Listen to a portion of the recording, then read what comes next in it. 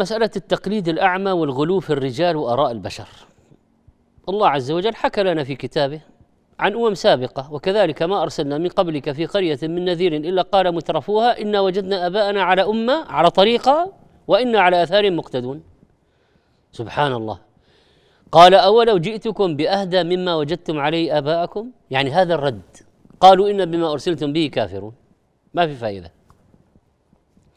خلص إيش قال الآباء والأجداد؟ وإحنا عليه مثلهم. يريدون رفض الحق. أولم جئتك أولو جئتكم بأهدى مما وجدتم عليه آباءكم؟ إذا هم. إذا هم يتبعون الباطل والهوى. إيش النتيجة؟ فانتقمنا منهم.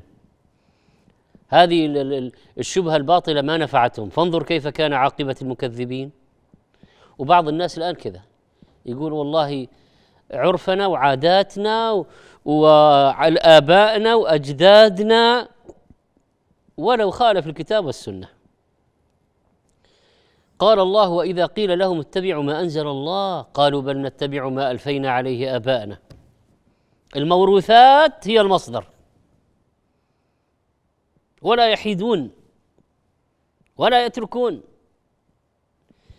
أولو كان آباؤهم لا يعقلون شيئا ولا يهتدون. طيب أنتم وجدتم آباءكم على ضلالة يعبدون أصناما. ها ماذا تفعلون؟